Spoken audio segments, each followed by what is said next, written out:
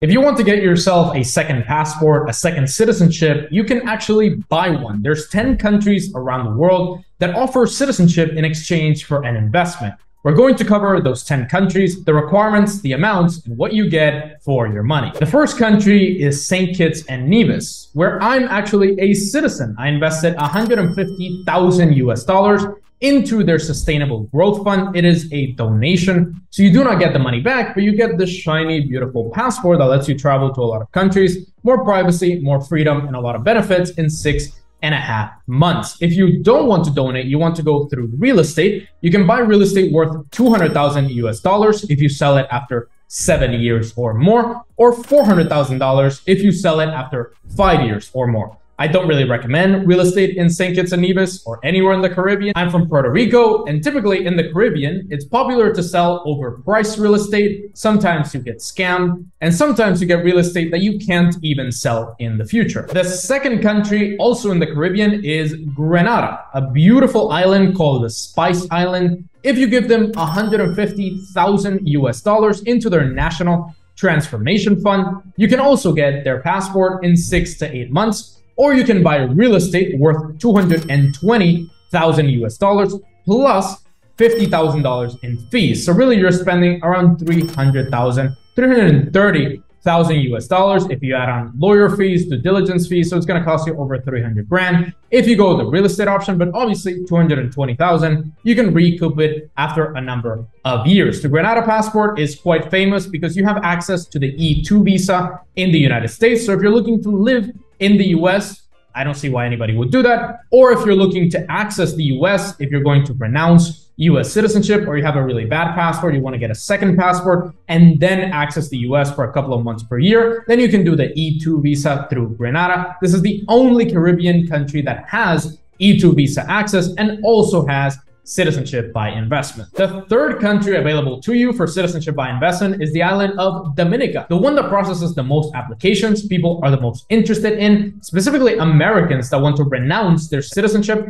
This is the most affordable and best value for the price that you're spending program out there. For $100,000 into the Economic Development Fund, you can get the citizenship in about five to seven months, or you can invest in real estate of around 200 thousand US dollars. Dominica has had some problems with people not doing proper due diligence checks in order to receive the passport, but overall, it's a very strong country that now has visa-free access to countries like China, which is quite hard to get visa-free access to. Many passports, including the US passport, don't even have access to China, and Dominica does. So if you're looking at that country to access, you can definitely do that, and it gives you the same visa-free travel or almost the same as St. Kitts or Grenada. does. So definitely one to consider if you're looking to spend less. Grenada and St. Kitts, you're spending 150 grand. Dominica, you're spending 100 grand for the exact same visa-free travel or very similar benefits.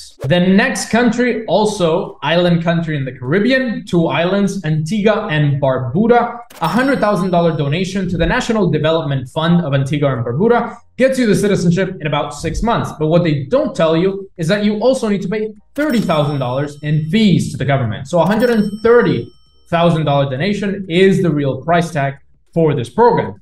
Or you can go for real estate worth 200,000 US dollars. What is very interesting about Antigua is that two applicants can buy real estate worth $400,000. So each person buys for 200,000 each. And if you buy a huge villa in Antigua and Barbuda, or if you buy a penthouse in Antigua and Barbuda, and it's worth 400,000, two people can apply, and you can also apply based on their family members. So definitely something interesting if you're looking to partner up with somebody, maybe a business partner, maybe a client that you both want to get the citizenship, that would be a great option if you're both looking at second citizenship. Which citizenship by investment are you interested in getting? Comment it down below and why you're interested in getting that passport. The next country for citizenship by investment and the last country in the Caribbean that offers their passports for sale is St. Lucia. For a contribution of a hundred thousand US dollars, you can also get this passport. It is not as strong in visa-free travel, but definitely it gives you a lot of asset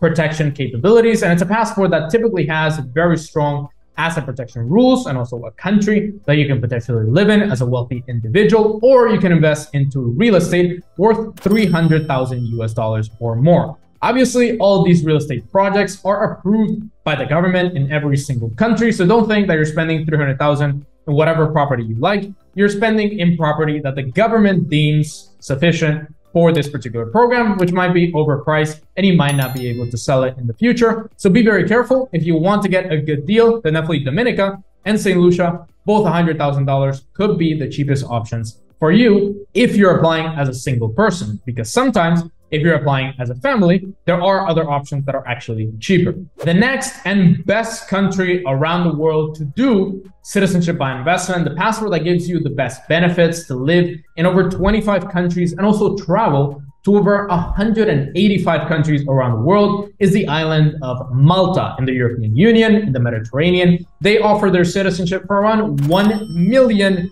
US dollars, and it takes a while to get this passport. It can take up to 18 to 24 months, two years to get the passport. You need to give them a donation, and you also need to rent or buy property in Malta, and you need to spend a significant amount of time in the country. It is not like the Caribbean countries where you can never go there. I've never been to St. Kitts, and I'm a citizen of St. Kitts by investment. In Malta, you actually need to build ties to Malta in order to get the citizenship because they are highly criticized by the European Union, and it's a country that has gone through a lot of due diligence checks and a lot of problems through their history. If you want to get a European citizenship by buying into it or investing into a country, then definitely this is the best program out there and the only program in Europe that you can get the passport in less than five years with an investment. So get it as it's available because it might not be available in the coming years due to pressure from the European Union and other countries that Malta has visa-free travel to, like the United States, like Canada as an example. The next country, which is quite popular with a lot of Russians escaping the situation, as well as a lot of third country nationals that want to improve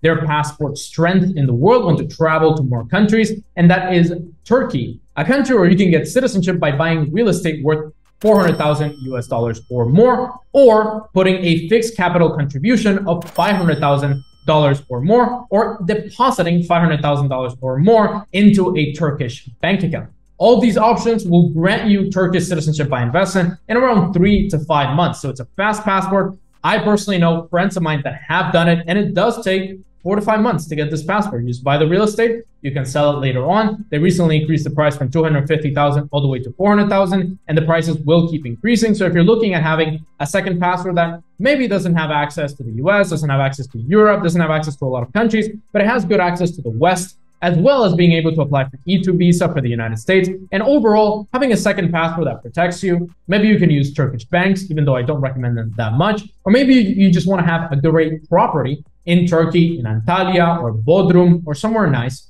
then definitely something that you should consider and you will have this passport to travel all around Turkey and enjoy the benefits of this extra passport in your portfolio. Really quick, after you watch this video, if you're looking to work with Wealthy Expat, get a second citizenship, second residence, lower your taxes, optimize your business structure, click that link in the description after this video and book a call with us. We are happy to help you. Country number eight on this list, not quite in the European Union, but very close to Europe, absolutely beautiful country that use the euro as their currency is Montenegro. Stunning country. I was there last year, absolutely loved it. With an investment of 450,000 US dollars in the capital Podgorica or in the coastal regions, which are beautiful, or an investment of $250,000, these both into real estate in the central part of Montenegro, which is a lot more rural, and also the northern part of Montenegro, which is even more rural. So you have those two areas. You can invest 250,000. They want to develop those other parts of Montenegro, or you can invest 450,000 into a nice apartment or villa in Kotor or Budva.